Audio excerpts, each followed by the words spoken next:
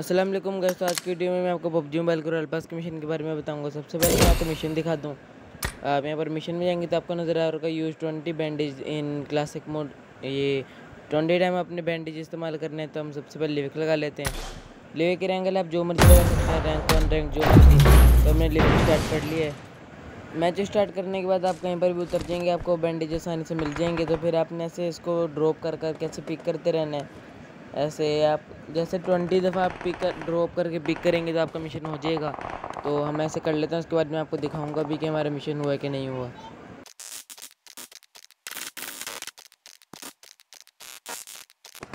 तो हम ट्वेंटी दफ़ा बैंडेज को ड्रॉप करके पिक कर चुके हैं। तो उसके बाद हमारा मिशन भी हो चुका होगा। अब तो फिर मैं आपको दिखाता हूँ हमारा मिशन हुआ कि नहीं हुआ।